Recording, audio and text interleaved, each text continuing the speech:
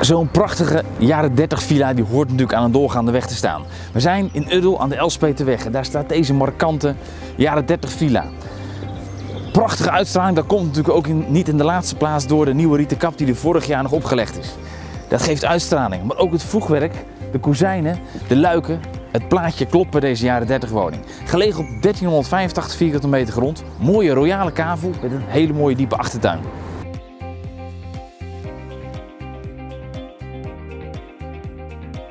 En de liefhebber van de jaren 30 woning die kan hier zijn hart ophalen. De ramen met roederverdeling, de rieten dak, karakteristieke kenmerken vindt u nog in het huis met paneeldeuren onder andere.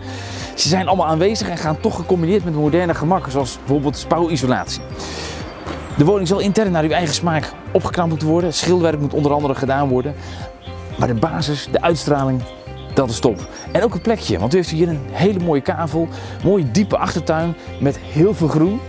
Nu nog niet, maar wacht maar even tot het voorjaar, dan zit u hier prachtig. De vogels hoort u hier en toch woont u hier heel centraal, dicht bij de voorzieningen van het dorp. En ook heel dicht bij het buitengebied van Uddel. Een mooie diepe tuin, ruimte voldoende voor bijvoorbeeld een moestuin. Heerlijk te kunnen genieten hier van de goede zonligging en de rust die je hier gaat ervaren. Maar ook binnen is veel ruimte. Ik zal u vast een eerste indruk geven. U komt binnen in een bijkeuken, verdeeld in twee ruimtes. Een garderoberuimte en een wasruimte. En dan allereerst hier de woonkeuken. Eigenlijk misschien wel het hart van het huis. Mooie houten opstelling, verdeeld in drie gedeeltes met een kookgedeelte aan deze zijde met een oven en een gasfornuis. En hier een spoelgedeelte met koelkast en vaatwasser. Vanuit de keuken is er toegang naar de provisiekelder onder de keuken, een ideale ruimte. Een toegang naar de centrale hal met de voordeur. En hier als suite met glas- en loodschuifdeur naar de woonkamer. En in elke ruimte ziet u karakter terug. Een balkenplafond bijvoorbeeld, de raam met roederverdeling. En ik zei al, het binnenschilderwerk dat zal opnieuw uitgevoerd moeten worden. Maar het heeft veel sfeer, het heeft karakter. En dat ziet u echt in elke ruimte terug. Zoals ook hier in de eetkaamer aan de achterzijde van de woning. Openstaande deuren naar het overdekte terras aan de achterzijde. Voorzien van een houtkachel. Kortom een heerlijke plek om toch in contact met de keuken hier te eten. En hier weer een ensuite. Ook weer met die schuifdeuren naar de woonkamer. Dus u heeft echt een apart eetgedeelte en een zitgedeelte hier aan de voorzijde. Ook weer met openslaande deuren naar de tuin. En hier een gashaard die zorgt voor extra warmte en voor sfeer.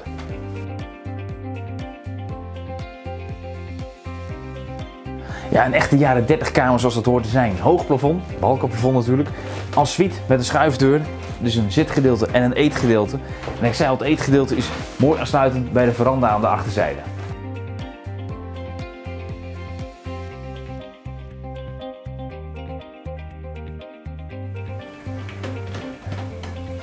Gezellige ruimte, maar er is nog meer ruimte hier gelijkvloers.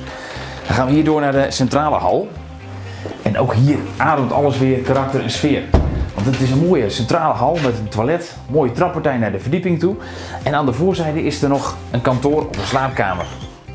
Het is natuurlijk een ideale slaapkamer, maar ook zeker in deze tijden als werkplek ideaal te gebruiken. Dat u toch apart van de woonkamer een eigen kantoorruimte heeft. Dit zie je dus niet bij nieuwbouwwoningen. Zo'n ruime bordestrap, ruime overloop, daglicht valt hierin. En totaal dus vier slaapkamers en een badkamer en ook nog een ruime bergzolder hierboven. Twee slaapkamers vindt u hier aan de voorzijde van de woning.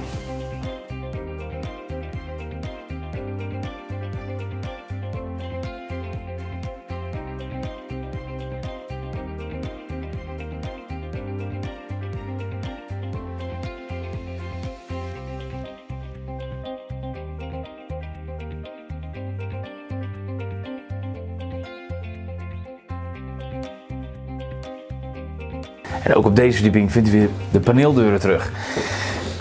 Karakteristieke elementen, ook de balkenplafonds hier weer. Het zijn allemaal van die elementen die de sfeer bepalen in het huis. En aan de achterzijde is dus de badkamer en de ouderslaapkamer.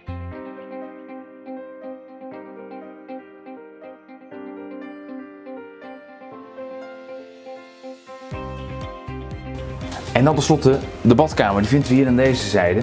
Voorzien van een toilet, een lichtbad, wastafel en een inloopdouche.